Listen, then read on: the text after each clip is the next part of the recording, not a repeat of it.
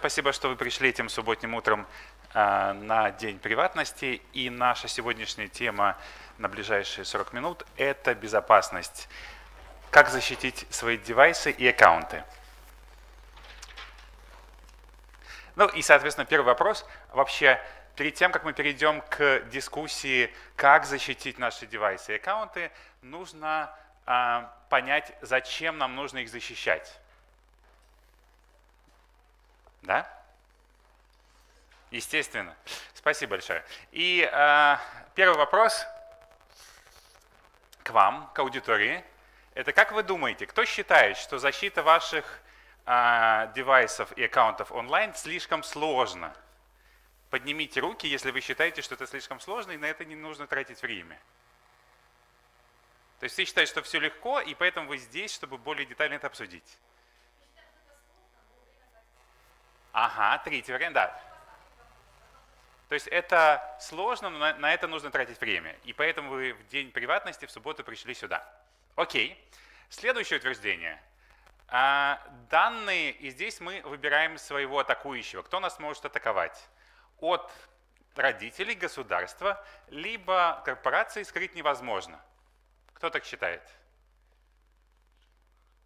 Так, ладно, сложно.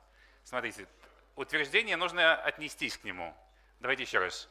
Данные от друзей государства, корпораций невозможно защитить, они все равно все знают. Возможно защитить. Что вы думаете? А от государства? Ага. Угу. То есть все-таки возможно. А когда мы говорим про защиту наших устройств, важно понимать, это какие у нас есть актуальные цифровые угрозы. И это, в принципе, зависит от того, чем мы занимаемся, где мы работаем, где мы живем а, и какой информацией мы обладаем. По сути, сейчас угроз, которые существуют в принципе онлайн и офлайн для наших цифровых аккаунтов и устройств достаточно много. Поэтому нам легче выбрать, что у нас самое важное, и это защищать. Что, о, кто у нас ближе? Что для вас самое важное? Цифровой актив.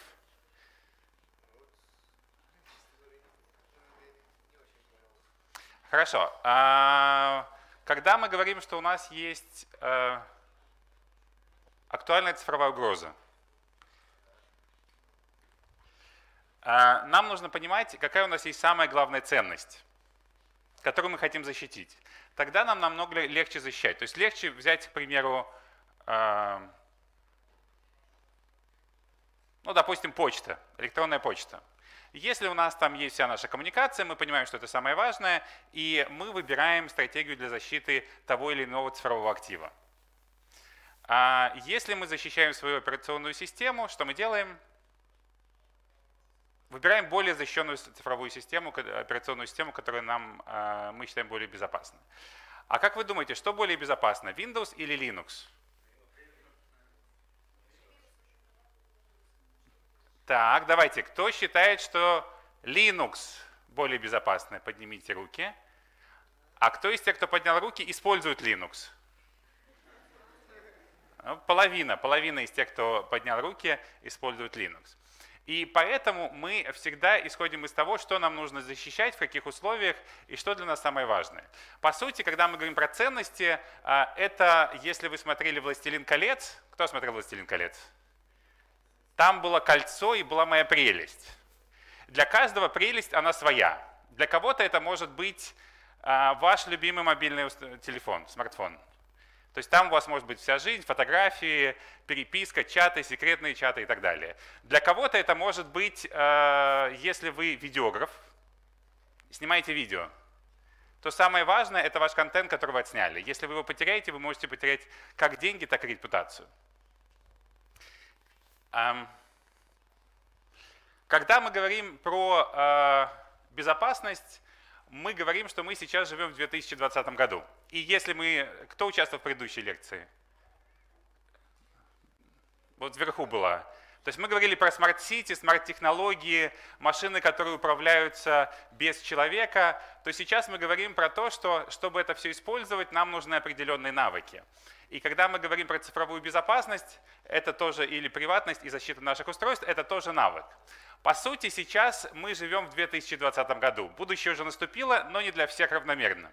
Одной из важных составляющих заключается в том, что у нас есть цифровые навыки, которыми должны обладать все – дети, взрослые и пожилые люди. Потому что если вы супер прокачанный пользователь, пользуетесь Linux, и вас невозможно взломать, потому что вы шифруете все полностью, используете двухфакторную авторизацию и так далее, а можно взломать вас через взлом вашей бабушки, ну или дедушки, или вашего ребенка. По сути, найти самое слабое звено, которое позволяет вас взломать. Угу. А, и, соответственно, э, вопрос в аудиторию.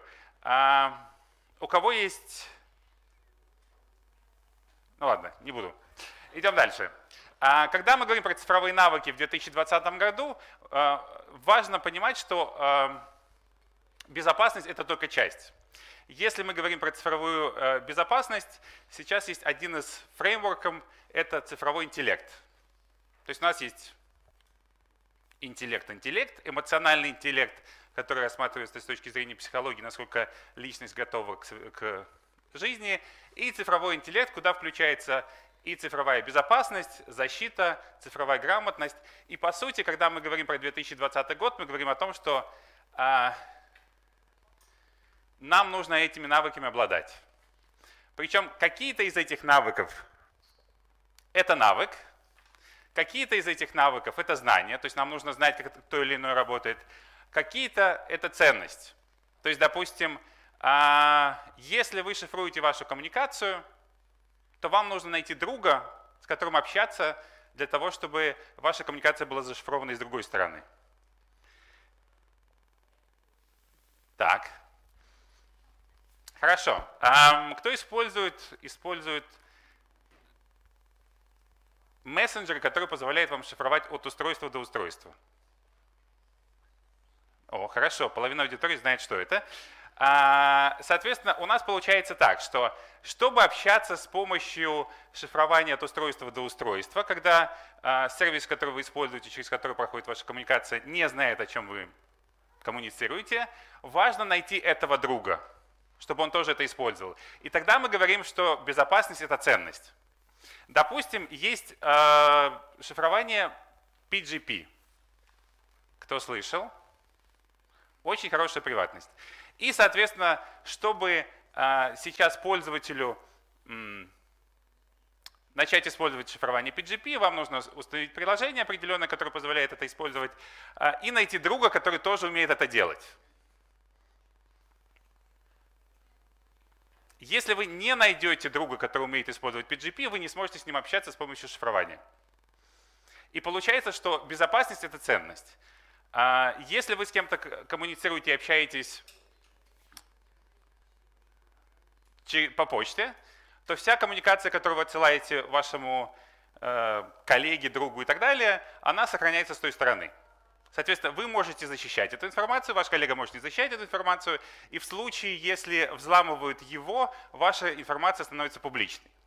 И по сути получается, что тогда мы говорим, что безопасность – это ценность. Мы живем в 2020 году. Если пару лет мы говорили о том, что Китай запускает э, технологию рейтинга граждан, то сейчас она уже опробирована и в скором времени будет э, распространяться. По сути, что позволяет делать технология э, рейтинга граждан. Она позволяет э, управлять большими массами людей и э, создавать социально желательное поведение. Кто слышал про эту систему? Угу. Спасибо большое. То есть, по сути, каждому гражданину присваивается рейтинг, и в зависимости от того, что государство считает хорошим или плохим поведением, ваши очки увеличиваются, уменьшаются. Если очки уменьшаются, рейтинг уменьшается ниже какого-то минимума, у вас э, наступает последствия. Допустим, вы не можете перемещаться самолетами, поездами, брать кредиты и так далее. И, соответственно, э, социально желательно, вернее, чтобы получить, сохранить свой хороший рейтинг, важно дружить с друзьями, у кого тоже высокий рейтинг. И по сути технология э, развивается, соответственно, это не только просто рейтинг, это использование камер наружного наблюдения, которые объединены в единую систему, и, соответственно, целый комплекс, который позволяет нам э, формировать социально желательное поведение граждан. И если три года назад мы говорили, что это теория, то сейчас это по сути практика. И как только в Минске, по-моему, в 2020 году внедряется единая система камер наблюдения, единый, не получается, уже внедрена. Да, и получается, что в принципе в скором времени технология позва будет позволять нам жить в небольшом отдельно взятом Китае. Ну, по крайней мере, в Минске. До регионов может дойти немного позже. Вот. А дальше мы живем а, во время, когда взламывают всех и вся. То есть, допустим, в прошлом году взломали Facebook, украли, э, ну не взломали, то есть там была уязвимость, которая позволила выкачать более 50 миллионов пользователей, и через неделю полные профили э, Facebook пользователей появились на, э, на черном рынке. Сейчас можно говорить о том, что социальный профиль пользователя, он достаточно важен, потому что социальный профиль пользователя позволяет нам знать о пользователе больше, чем он знает сам о себе основываясь на том, сколько времени вы тратите на определенном контенте, лайки, шеры, репосты, с кем вы дружите, ваши социальные контакты и так далее. Дальше мы живем в эпоху глубоких фейков. То есть, если мы до этого говорили о том, что то, чего я не видел а, глазами не существует, ну, то есть можно было сомневаться в какой-то текстовой информации, то сейчас мы можем сомневаться и в фото, и видео информации, которую мы потребляем. Что это нам дает? Можно подделать все, что угодно, и, соответственно, нам требуется новый навык – медиаграмотность. То есть нам нужно понимать, что мы не можем просто использовать э, информацию из одного источника. Даже если мы это видим и это видео, то мы этому не, не доверяем. А, из интересного, немного о трендах, то, к чему нужно стремиться. А, если мы говорили, допустим, 10 лет назад, что вам нужно поставить пароль в 13 символов, и этого спасет, два года назад мы стали говорить о том, что всем нужна двухфакторная авторизация, и двухфакторная авторизация позволяет вам защитить свои учетные записи, то сейчас и первый и второй вариант можно взломать. Соответственно, с точки зрения пользователя сейчас мы медленно переходим от двухфакторной авторизации через SMS и телефоны к жестким таким ключикам. Не тот слайд. Нет, а, извините. Вырежем это потом в записи, да? А, соответственно, прошу прощения, а, слайд о том, что мы медленно переходим от технологии телефонов и э, снижаем наше количество времени, которое мы тратим, говоря по телефоне, на телефоне, и начинаем использовать из шифрования от устройства до устройства. Если вы сегодня звоните в банковскую техподдержку по телефону, кто звонил в банк свой? Ваш голос идентифицируется алгоритмами, то есть вы идентифицируетесь как пользователи голосом. Как только эта система была запущена, появилась волна а, фейковых звонков, где пользователей а, вынуждали отвечать определенным образом на определенные вопросы.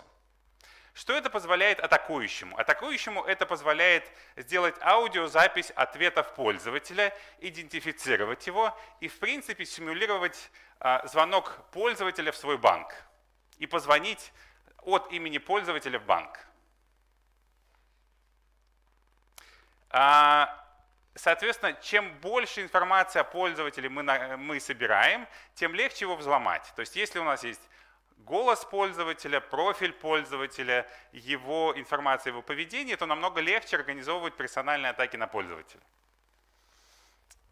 Вот. Поэтому, в принципе, я бы рекомендовал не использовать GSM-телефонию в 2020 году. Медленно выходим в звонки э, через IP-телефонию и, соответственно, те сервисы, которые позволяют использовать э, шифрование от устройства до устройства. Какие это сервисы, поговорим буквально через минуту. А, и, соответственно, то, что я уже говорил про двухфакторную авторизацию. А кто пользуется двухфакторной авторизацией? Давайте. А кто пользуется двухфакторной авторизацией с помощью жесткого ключа? Ну, такой ключ UBK. С точки зрения пользователя получается так, что для 99% пользователей интернета а, сложного уникального пароля на своей учетной записи этого достаточно.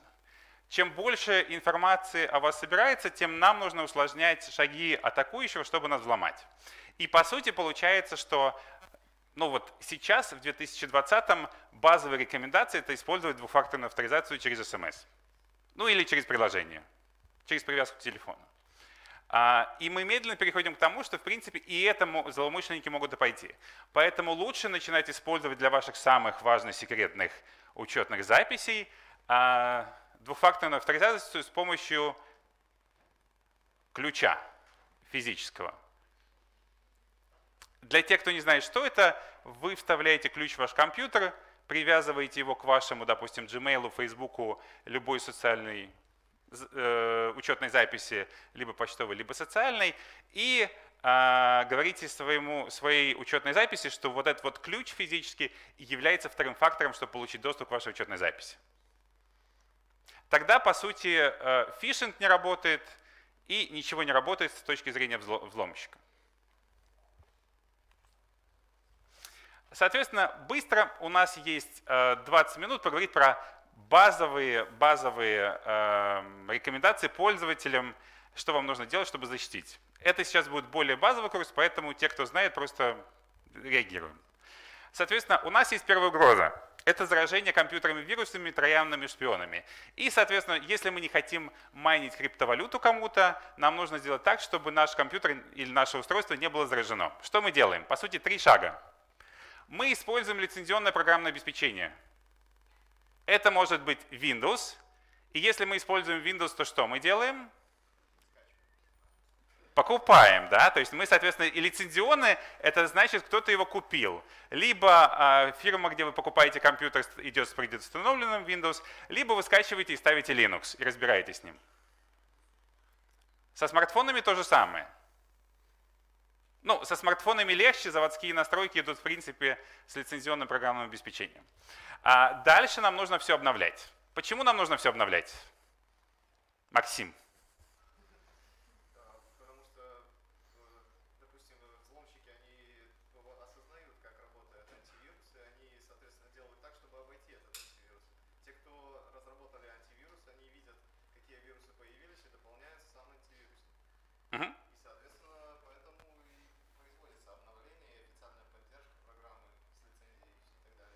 Да, а, самая э, большая потребность в обновлении заключается в том, что мы живем эпоху нулевых уязвимостей. То есть системы становятся настолько сложными, что а, даже сами создатели систем не имеют возможности полностью обеспечить безопасность всех элементов систем. Допустим, мы говорили про взлом Facebook, а, 50 миллионов пользователей. На самом деле его не совсем взломали. Там было две уязвимости несколько, ряд уязвимостей в нескольких подсервисах Facebook, которые позволяли просто получить прямой доступ к самой системе. А, если мы говорим, что мы живем в эпоху нулевых уязвимостей, то есть когда мы не можем предугадать, когда та или иная система будет взломана, соответственно, как только система взломана или находится уязвимость, которая позволяет а, хакерам, взломщикам, ну, нет, не хакерам, лучше говорить, злоумышленникам взломать э, тот или иной продукт, а, мы его обновляем. Допустим, вышла свежая уязвимость в операционной системе Windows, а, и она закрывается следующим обновлением. Если мы не обновляемся, то мы доступны для атаки извне любым пользователям, который знает про эту уязвимость и, соответственно, купил а, штуку, которая позволяет вам эксплуатировать эту уязвимость и получать доступ и взламывать вашу операционную систему. И вот вы уже майните криптовалюту, в лучшем случае, для кого-то. А дальше мы ставим антивирус и межсетевой экран. О, интересный момент – вот мы буквально в своем сообществе обсуждали, что э, пользователи считают, что для Mac компьютеров не нужен антивирус. Маководы. Нужен ли вам, вам антивирус?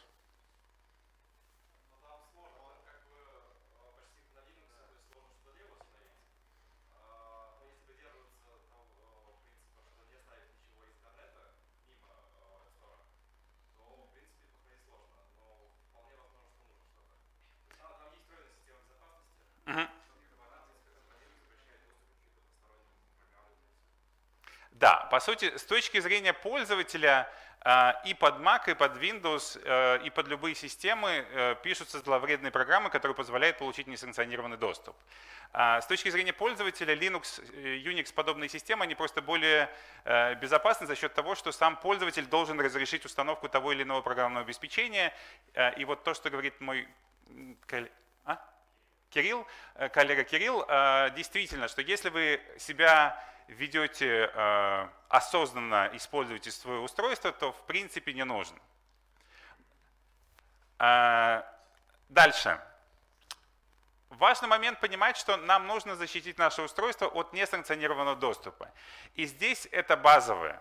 Э, потому что если мы не контролируем наше устройство, и пользователь, это может быть друг, коллега, жена, муж, ребенок, государства, спецслужбы и так далее, а, получая в несанкционированное э, в какое-то в пользование наше устройство, могут его модифицировать. С Windows вообще легко, потому что обычно люди пользуются админом, э, они находятся под, э, управляют подучетной записью администратора, соответственно, могут модифицировать свою систему. И поэтому базовая вещь заключается в том, что если вы хотя бы сутки не контролировали свое устройство, которое где-то лежало, мы не можем ему доверять. Поэтому мы ставим предварительно пароль на вход. У всех есть пароль на вход? На смартфонах это может быть графический ключ, либо биометрия. С биометрией немного сложнее, потому что, в принципе, самая большая сложность э, биометрической защиты заключается в том, что вы всегда ходите со своим пальцем или лицом. Даже появились мемы в, в, в интернете, когда э, э, девушка, чтобы разблокировать телефон парня, пытается ему показать, чтобы он посмотрел свой смартфон, соответственно, а парень делает вид, э, как будто, ну то есть делает все, чтобы этого не случилось, чтобы не дать разблокировать и как, он как этот, а, как будто ему прыскают в лицо газовым баллончиком. То есть танцы, танцы, чтобы не посмотреть в телефон. И по сути получается так, что а, биометрия это хорошо, суперудобно, но не очень безопасно. Все спят. И ваш палец можно приложить к вашему смартфону и узнать все ваши тайны. А, идем дальше. Что мы делаем с паролями? Да, у нас есть такая замечательная штука, что нам нужно а, для каждого, ну, базовые условия. Связи с тем, что разные сервисы взламывают, мы исходим из того, что э, эти базы, э, сервисы разные взламывают, пароли наши узнают и потом выкладывают в открытый доступ базы данных с нашими паролями. Поэтому э, там, через год-два после взлома системы любой школьник может скачать эту базу данных из темного интернета и, соответственно, взломать вас, просто подставив тот же самый логин и пароль. Поэтому базовое то, что рекомендуется, это для каждой учетной записи иметь свой логин и пароль. Уникальный. 15 символов, большие маленькие буквы, что еще там? Специальные символы и так далее. Соответственно, э, чтобы вот э, Бендеру Родригесу ну, потребовалось много времени для того, чтобы взломать э, ваш пароль. И, соответственно, здесь, с одной стороны, что мы делаем? Мы либо записываем все на бумажку, и у нас тут это пошаговая штука. Потому что большинство, вот я работаю администратором в одной учреждений, и там 150 человек. И, соответственно, с большего получается так, что в лучшем случае у людей один пароль. Ну, имеется в виду один пароль от всего с разными модификациями. А, хорошо, если это не э, фамилия. Ну, то есть ты такой, только бы это не была фамилия и год рождения. Но потому что если это фамилия и год рождения, легко взламывается. Вот. И поэтому, а, если у вас есть один пароль на все, который вы помните, и вы зовете второй, который вы не помните, но записываете в э, книжку записную, это один шаг к безопасности. То есть вы удваиваете свою защиту своих учетных записей. Следующий шаг – это заведение менеджера паролей. То есть вы, в принципе, начинаете использовать программное обеспечение, которое за вас запоминает пароли. Единственная сложность заключается в том, что а, это менять пароли. Ну, допустим, вы завели менеджер паролей, у вас 10 социальных сетей, ну, от 5 до 8 почт, на всякий случай есть разные работы, разные сервисы, и штук 30 разных сервисов, начиная от интернет-банкинга, заканчивая вашим любимым сайтом с хобби. А, плюс там, не знаю, для дизайнеров кто-то используется Canva, еще чем-то, еще чем-то, и вы обрастаете вы обрастаете э, учетными записями и уникальными паролями. И потом есть следующая рекомендация, их нужно часто менять. Как нужно часто менять пароль? Каждый месяц, каждые полгода, в принципе, как только мы считаем, что пароль скомпрометирован, мы его меняем. И, и здесь получается так, что у вас есть 50 учетных записей, с годами их становится 100 или 150, и вам нужно поменять 150 паролей. И это становится не очень удобно. Ну, я имею в виду, что тебе нужно сидеть и часа полтора менять пароли. Даже если это делается более-менее полуавтоматически, либо автоматически. А, и здесь э, следующий шаг, где у нас двухфакторная авторизация. Нет, нет, нет. Ну ладно, там была двухфакторная авторизация. То есть следующий шаг – это использовать двухфакторную авторизацию. То есть, по сути, а, если у вас один и тот же пароль, но двухфакторная авторизация с привязкой к телефону, это решает вашу проблему с сменой паролей. Плюс, если мы говорим про менеджеры паролей, которые э, доступны онлайн, здесь один из примеров это не скрытая реклама, здесь просто два самых популярных сервиса, их множественное количество. Один из них open source э, KeePass называется, он просто локально хранит вашу базу паролей. Второй э, LastPass, но их много. То есть вы выбираете то, что вам удобно, какие-то из них бесплатные, какие-то платные. С LastPass удобно, что он может сам вам генерировать пароли, их заменять, и плюс информировать вас, когда вам нужно его заменить. Вот. А, и тут, смотрите, получается, что с одной стороны у нас есть знание того, что мы хотим менять пароли, и потом идет инструментарий. Инструментарий мы выбираем сами, можем советоваться с друзьями и так далее. Дальше важный момент – это делать так, чтобы никто не видел ваш пароль. Если вы с кем-то проживаете на одной территории, это могут быть жена, муж, дети. Как вы думаете, сколько времени нужно вашему близкому кругу семейному, чтобы подсмотреть пин-код, который вы вводите для разблокировки телефона? Менее суток, ну по сути потому что вы постоянно с кем-то находитесь. То же самое с коллегами. Плюс у нас есть, смотрите, видеокамеры здесь установлены. Если вы э, сидите вот так вот спиной, получается, и вводите на пароле ваш пароль в компьютере сейчас, то с большой долей вероятности э, запись идет в HD качестве, возможно в 4К, и можно просто будет снять эту видеозапись из интернета и посмотреть, что же вы там вводите. Соответственно, а, одна из рекомендаций, которую э, делал Сноуден, допустим, Эдвард Сноуден, это нужно накрыться одеялком и тайно вводить пароли. Если у нас нет такой возможности, мы просто время от времени меняем пароли публичные, то есть от вашего компьютера либо смартфона. А дальше не используем недоверенные почтовые сервисы или любые другие сервисы. Здесь вопрос для дискуссии, что такое недоверенные сервисы. Да, без HTTPS это базовое, но по сути, если мы говорим про э, вот последнее развитие в, в регионе России и Беларусь, есть такой доверенный сервис, либо недоверенный сервис социальной сети ВКонтакте. Да, ну и здесь получается так, что в этом плане, почему можно говорить о том, что социальная сеть ВКонтакте является менее доверенной, э, только с одной точки зрения. Большинство сроков статей за репосты и за распространение какого-то нежелательного контента идет из социальной сети ВКонтакте. То, что вы там делаете, оно все фиксируется и никогда не удаляется, плюс правоохранительным органам просто намного легче получить доступ к этой информации. Вот. А, и в связи с тем, что мы, э, э, вот вы слышали про интеграционные процессы России и Беларусь. Вот как только наши страны, э, мало ли, объединятся, нужно будет просмотреть весь свой ВКонтакт с 2009, 10, 11, 12 годов и удалить все, что является нежелательным, потому что незнание законодательства не освобождает от последствий. Вот. И то, что вы в 2012 году считали милым мимасиком в 2020, согласно российского законодательства, может считаться распространением, а, ну не знаю, экстремизма. Вот. И здесь вы решаете сами. Для кого-то локальные сервисы, ну то есть самый большой э, вызов заключается в том, что все сервисы подпадают под национальное законодательство.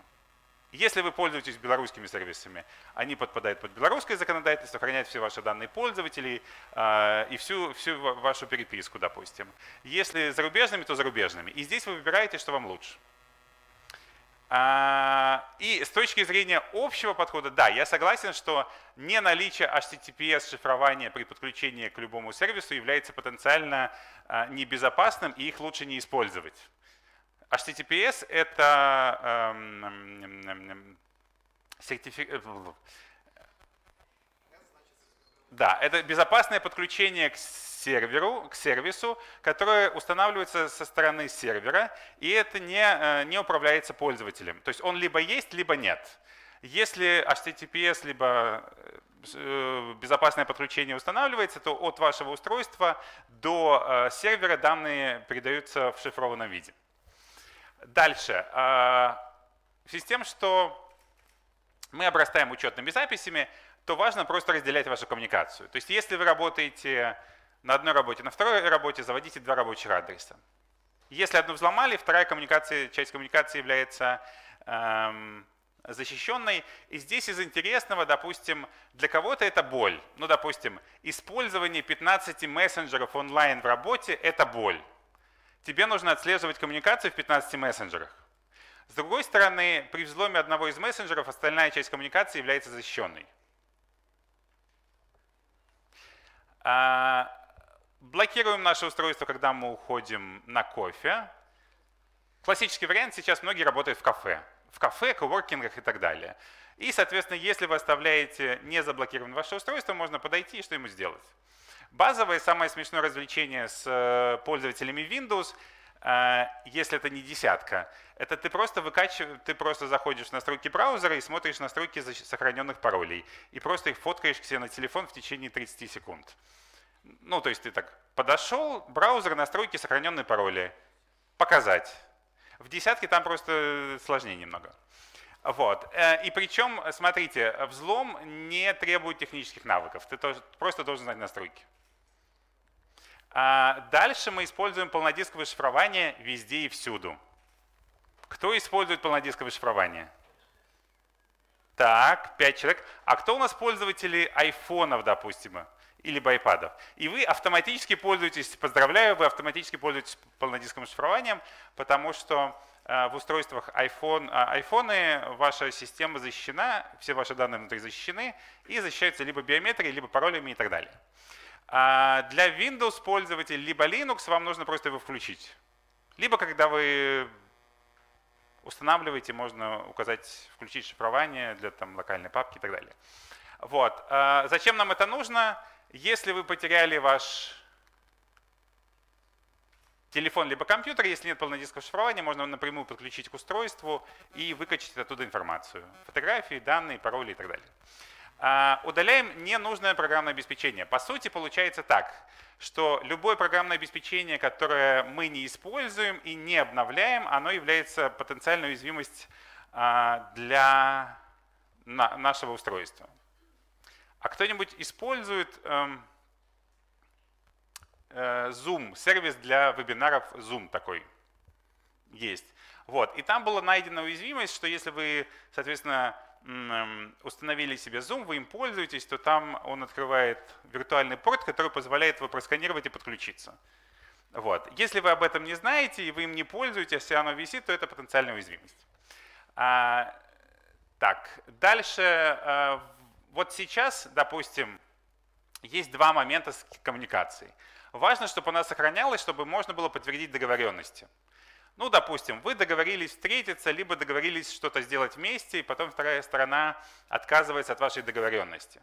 Поэтому чаты очень удобно. Если вы пользуетесь чатами сейчас, Facebook чаты и другие чаты, где нет шифрования от устройства до устройства, то в большинстве случаев вы не можете удалить ваше сообщение, если вы его отослали и прошло какое-то время.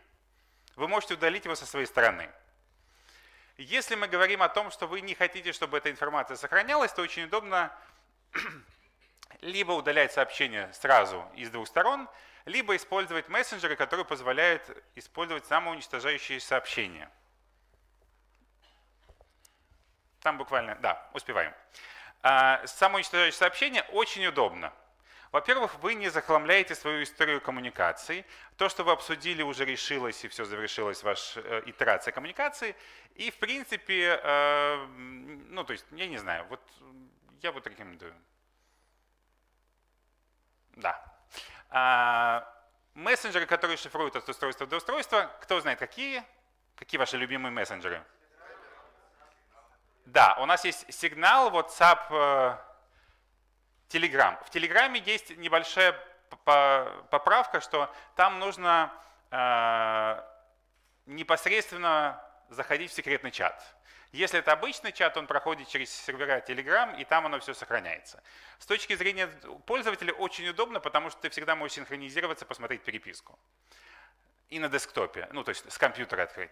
С точки зрения безопасности это не очень безопасно, потому что э, ну, то есть она находится везде и по сути достаточно открыто. Вот. Э, в Фейсбуке есть секретный чат, и вы смотрите, если есть какая-то коммуникация, которую вы считаете должна быть приватной, вы ее переносите просто в мессенджеры с шифрованием от устройства до устройства. Сигнал, WhatsApp и, и другие. А, не кликаем на подозрительные ссылки. Причем сейчас интересно, что ссылки можно получать вплоть до того, что там ММС-ками на телефон. То есть ты получаешь сообщение, нажимаешь, и оно проигрывается и заражает ваше устройство. Ну, это базовая такая. Все знают, что не нужно кликать. Да? Не кликаем. А, не ловимся на фишинговые письма. Фишинг, знаете, что это? Вид атаки, когда атакующий подталкивает пользователя к каким-либо действиям. Классически, когда вам звонят из банка, представляются банком и просят вас ввести данные банковские для якобы проверки либо разблокировки вашего устройства. Ну ладно, совсем классически это нигерийские письма, когда африканский принц просит о помощи, чтобы перевести вам миллион долларов. А, важным моментом заключается э, митигация потери данных. То есть, по сути, мы обрастаем нашими данными, объемы их растут, и что же нам сейчас делать? То есть у нас есть, не знаю, 100 гигабайт данных в нашем компьютере. Что мы делаем? Внешние жесткие диски. Сейчас плюсы заключаются в том, что облачные сервисы становятся все более и более доступными. Если вы э, пользователи Dropbox, Google диска, либо э, Apple диска, э, средняя стоимость в месяц для 100 гигабайт это 3-4 доллара в месяц и тогда все ваши данные будут защищены. И здесь есть интересный вопрос. Ваши данные в облаке, насколько они защищены там? Да, Google, Dropbox, Apple Drive и так далее. То есть, по сути, получается, они настолько защищены, насколько защищена учетная запись подключения к этим данным. Вот. Если э, и здесь, получается, мы включаемся, опять же, видите, все связано. Нам нужна двухфакторная авторизация, сложный пароль, компьютер без вирусов и троянов, чтобы обеспечить безопасность э, наших данных в облаке. Если мы считаем, что какие-то данные чувствительны, то мы их сначала шифруем, либо можно завести свое собственное облако. Общее правило, если у вас есть супер важная информация, делайте три резервные копии, одна офлайн, одна онлайн. Если важно, просто две. И пару слайдов двухфакторные у нас есть. Анонимность и безопасность. А, базовое использование интернета сейчас общая рекомендация использовать VPN. Технологии виртуальных частных сетей. Средняя стоимость 3-6 долларов в месяц э, от 3 до 5 устройств с неограниченным трафиком. Э, в связи с тем, что сейчас многие пользователи любят смотреть американские сериалы, некоторые сервисы доступны не в Беларуси. Поэтому покупаешь подписочку, 30 секунд, да, э, покупаешь подписочку, выходишь из другой страны и смотришь свои любым, любимые сериалы в этот же день. Ну и все. И сменяем пароль на вашем интернет, интернет-роутере дома, из базового на что-нибудь лучше, чем просто админ-админ. А, смотрите, на этом все. Это была краткая интро... интродукция представления. А, и у нас начинается крипто... Криптобар. Николай, спасибо огромное. Я надеюсь, это был полезный ликбез. Э, естественно, да, давайте, давайте.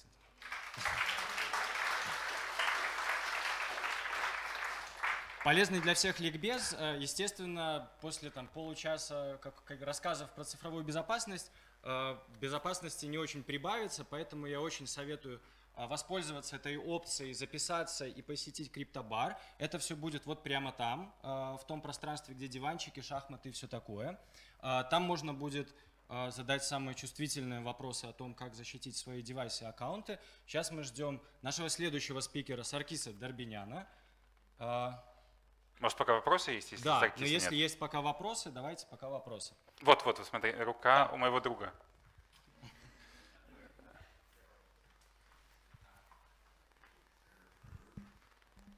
А, здравствуйте еще раз. У меня два вопроса. Первый это про двухфакторку. А, вы сказали, что можно сейчас взломать все, и поэтому лучше перейти на, на физические ключи.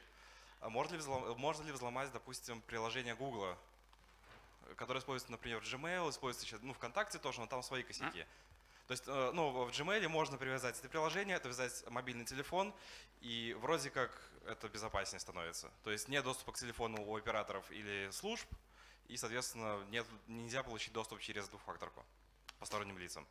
Да, согласен. Э, по сути, э, когда я говорил, что взломать можно все, просто с разных углов. Я с тобой согласен, если отвязываешь телефон и привязываешь аутентификатор, то норм, можно пользоваться без физического ключа. Самый важный момент заключается, что двухфакторную сейчас взламывают поддельными фишинговыми страницами. Ну, то есть, когда тебе присылается страница, которая выглядит как Google, почти с Google адресом, где ты сам собственноручно вводишь все необходимые данные. Вот. Так, а второй вопрос? От 15 до 30 долларов на eBay. И там есть опция с Bluetooth, соответственно, ты можешь подключать свой смартфон тоже через... Вот. Но это просто, а, то есть, а, опять же, для 99% населения двухфакторность через телефон этого достаточно. То есть, но есть определенный процент, кому нужно Индивидуальная консультация. Да.